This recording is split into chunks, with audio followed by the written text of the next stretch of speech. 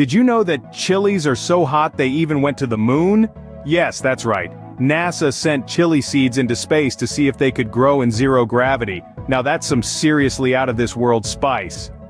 Chilies are not just fiery additions to our dishes but they also hold a rather astronomical record.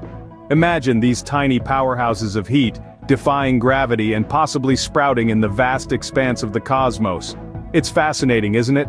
But it's not just the astronauts who get to have all the fun. You too can embark on a unique journey with chilies. And don't worry, we won't be sending you or your chilies to space, at least not yet. We're going to explore the world of chili farming, right here, on our home planet. We'll guide you through the process, from selecting the right seeds, to harvesting the fieriest chilies. Now, let's bring those chilies back down to earth and learn how to grow the hottest ones right in your backyard. Growing chilies is not just about adding spice to your dishes, it's also about adding spice to your life. It's an exciting, rewarding, and yes, a hot process. Today, we're embarking on a thrilling journey. A journey to grow the hottest chilies right at your home. Imagine the pride you'll feel when you serve up a dish spiced with chilies from your own garden. Chilies that might just be the hottest in the world. This isn't just a hobby, it's a challenge, a test of your green thumb and your taste buds. It's a journey that will take you from seed to harvest, from soil to plate.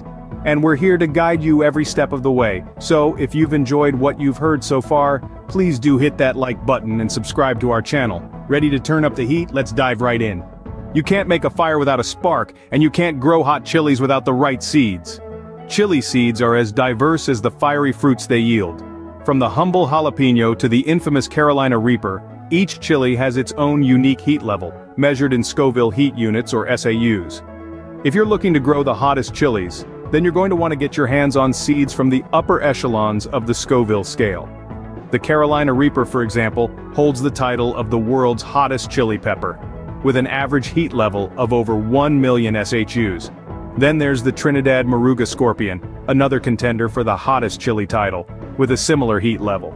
These chilies are not for the faint-hearted, but for those of you who love a challenge they're the perfect choice. Now you may be wondering, where can you find these super hot chili seeds? Many garden centers and nurseries will carry a range of chili seeds, but for the hottest varieties, you might need to look a little further. There are numerous online retailers specializing in chili seeds, many of whom ship worldwide, just be sure to check the authenticity and quality of the seeds before purchasing. Whether you're buying from a physical store or online, it's important to look for seeds that are fresh, as they have a higher germination rate. Also, consider the climate and growing conditions in your area. Some chili varieties prefer warm, humid conditions, while others can tolerate cooler climates. Once you've chosen your seeds, it's time to start planning your chili growing adventure. But before you get too excited remember that growing super hot chilies is not a task to be taken lightly. These fiery fruits require plenty of care and attention and they're not recommended for novice gardeners. So are you ready to take on the challenge of growing the world's hottest chilies? Just remember the hotter the chili the hotter the challenge. But don't worry, we're here to guide you through it. Just like us, chilies need a comfortable home to thrive. And for chilies, that home is the soil. The first thing you need to know about chilies is that they love warmth and they thrive in well-draining soil.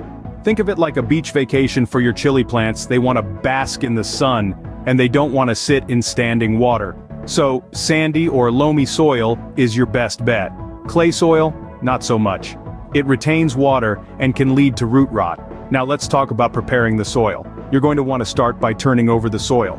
This breaks it up, making it easier for the roots to spread and grow. You can use a spade or a tiller for this task, but remember, the goal is to make the soil loose and airy. Next, let's add some nutrients to our soil.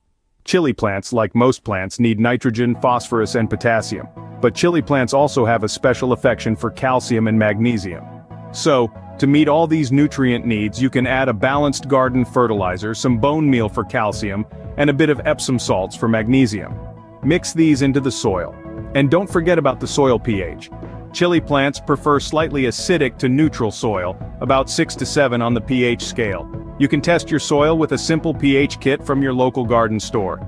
If your soil is too acidic you can add some lime to raise the pH, and if it's too alkaline you can use sulfur to lower it. So we've turned our soil, added our nutrients, and adjusted our pH. What's next? Well if you're planting directly in the ground you'll want to make mounds about 3 feet apart for your plants. This gives them plenty of room to spread out and grow. Alright, we've prepared our soil. It's loose, nutrient-rich, and at the perfect pH for our chili plants. Soil ready? Great. Now, let's sow those fiery seeds. Now that the stage is set, it's time for the star of the show, the chili seeds. It's showtime folks, let's get those chili seeds into the soil. First things first, you need to make small holes in the soil, about a quarter of an inch deep. These are your chili seeds' new homes. Gently place one seed into each hole. It's important not to overcrowd your chili plants. Remember, they need their space to grow and thrive. Once your seeds are in their new homes, cover them lightly with soil. They don't need to be buried deep, a light covering will do. Think of it as tucking them in for a good night's sleep. Now let's talk about water. Chili plants love a good drink, but they don't like to swim. Water them just enough to keep the soil moist, not soaking wet. Overwatering can lead to root rot, which can spell disaster for your chili plants. And what about sunlight? Chili plants are sun lovers. They need at least 6 hours of sunlight each day. So make sure your chili plants are in a place where they can soak up plenty of sun. As your chili plants grow, you'll need to keep an eye out for pests and diseases.